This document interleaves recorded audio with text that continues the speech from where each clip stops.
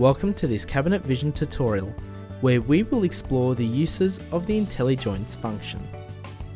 The IntelliJoints function is a feature of Cabinet Vision Ultimate. Moved. To understand what an IntelliJoint is, it is best to show a visual example. Here we can see a cabinet interior. We can also see some adjustable shelf line bores here. These bores are tied to the shelf. If the shelf is removed from the cabinet, the line boring is removed also. This is because the line boring is classified as an IntelliJoint, which is tied directly to the adjustable shelf. We access the IntelliJoints catalog from the splash screen. Opening up the menu, we see the following. IntelliJoint selection, new, copy, rename, delete, mirror IntelliJoint, import IntelliJoint, export IntelliJoint, and finally unit. Changing the selected IntelliJoints to three adjustable shelves, it now shows three view planes, detailing the selected IntelliJoint. Left shows the IntelliJoint from the end, middle shows a view along the joint, and the right shows a 3D perspective. We have more buttons down below. New operation, copy operation, and delete operation. The operation name is also detailed here. Operations are listed in the field here. The operation configurations are shown here also. They include Operation, Master, Type, Face, X position, Y position, Depth, Space length, Diameter width, Quantity, and Tool. The IntelliJoints, being a derivative of an American standard, have a mix of imperial and metric values. We need to type our metric values as an IMP and then the metric value preceding it in bracketry. We can click on each operation and it will indicate our selection by showing the operation in red. This specific IntelliJoint, when activated, applies its operation to the slave part, which means that the drilling will apply outward, or the part that the master part butts into. We also have a sample size detailed in the bottom left. IntelliJoint position can be seen to the right of this. And finally, the description is shown at the foot of the dialog box. The test button accesses another screen, which shows the IntelliJoint in use. It shows different example choices to view, as well as the ability to pan, zoom, and explore the IntelliJoint to find the best way to view it.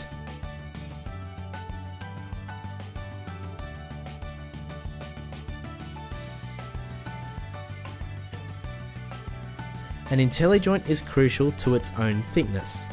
This is because, like shown in the diagram, the IntelliJoint situates in between a master and slave part.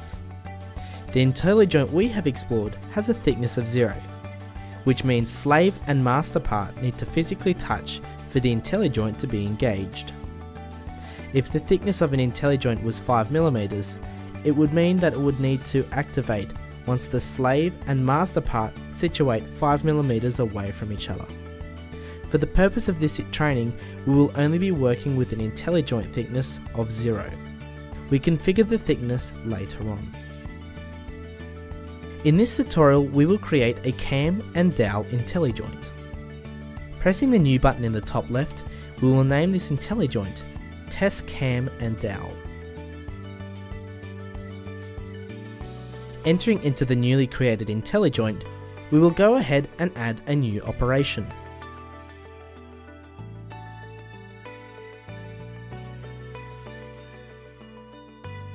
This operation will be called cam hole.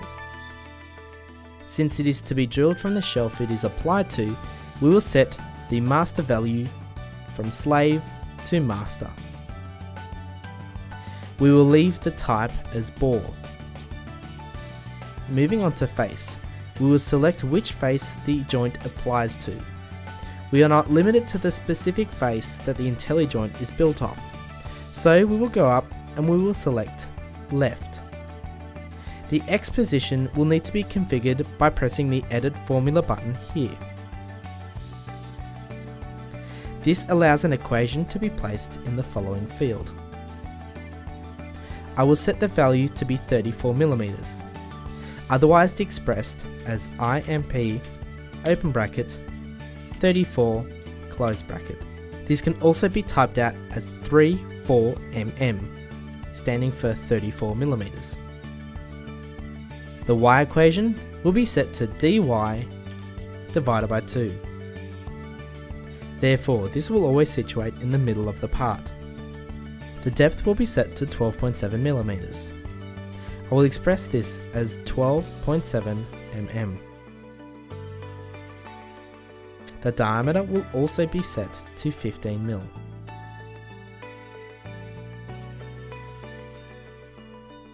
The quantity will be left at 1 and now we have configured the cam hole. Now we will create the peg hole, making sure to refer to the diagram linked in the description of this video.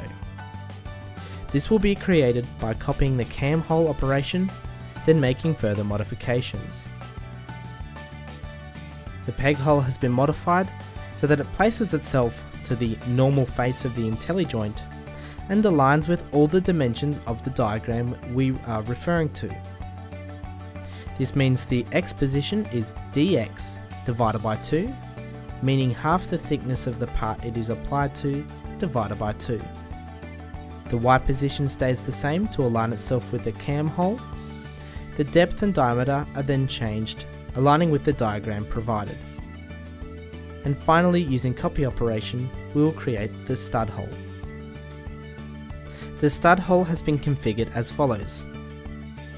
Under master, it has been set to slave, so it applies to the slave component, therefore outward of the master component. It is still a bore, and the face has been set to normal. The depth has been changed to 12.7mm, and the diameter width is 7mm. We will now test this IntelliJoint on a cabinet. I have placed a base cabinet with a single fixed shelf inside. This fixed shelf still has operations, so we need to delete those operations as well as including our own IntelliJoint in their place. Moving to face, I will click where the fixed shelf is, right click and then proceed to edit. I can manage the parts operations from the reports button up the top. I can see the existing operations listed here and so I will need to clear these operations by deleting them to then go through and add my IntelliJoint. As seen here, the fixed shelf no longer has its mounting holes. We will return to the fixed shelf edit so we can place our IntelliJoints in the report section. Selecting new operation, we will now select the work plane to apply the IntelliJoint to. Pressing next, we will now select what operation to apply. It is already on IntelliJoint, so I'm going to click Next. We will then scroll through this list and pick the IntelliJoint we wish to select. Here I can see test cam and Dowel. We will press Next to advance to the next menu. Now we will assign the value to the width, length and thickness of the IntelliJoint. I'll set the width to part thickness with no additional value. I'll set the length to part width, also with 0, and the thickness value will be set to 0. The 0 thickness means that the two parts must touch in order for the IntelliJoint to activate. Like mentioned before, if I placed 5mm in this field, I would need to have a gap of 5mm between slave and master parts for the IntelliJoint to activate. The next screen will orientate the IntelliJoint. If I had left the shown information has been preset by myself. I have rotated the joint by 180 degrees. If I had left it at 0, the cam hole would face upwards, which works against what we would like. We would like to set this cam facing down on the shelf, therefore hiding it from any viewing angle. Through trial and error, spend some time in this screen to understand the different functions and how they affect the IntelliJoint. This concludes all we need for this menu, so we will click Finish. The IntelliJoint can be seen activating up here. We'll now click Return to see it in effect. Going to 3D, I can now view the IntelliJoint applied to the side of the cabinet which we chose. Our IntelliJoint can be modified to adjust its placement on the master part. A scenario we will play out is adding another cam hole and peg operation set. Therefore, this edge will have two sets of cam and dowel pins. We will return to Cam Editor to modify the existing IntelliJoint. To add additionals in, I will go through and copy each of the primary operations seen here. We create a secondary set of operations to represent the second cam we would like to add for this IntelliJoint. Here I have copied all primary operations. I have modified the Y position of each set of operations. The original set is now at dy divided by 3. Therefore it is placed a third of the way along the Y position of said part. If I set the same Y position for my secondary set of operations, they would place over the top of the original operations. Therefore, a more complicated equation is needed. I have told mine to set the dy or width of the part and then minus one third. This will mirror the first set of operations position, but from the other side of the part. Here is the modified IntelliJoint when it is applied to both ends of a fixed shelf. We could repeat the process but using different equations to even place 3 on each end. This is the benefit of IntelliJoints. We configure the joints to our specification and to our liking. This concludes the introductory video on creating, modifying and emplacing IntelliJoints. Be sure to like this video and subscribe to our YouTube channel to be notified of more video releases in the future.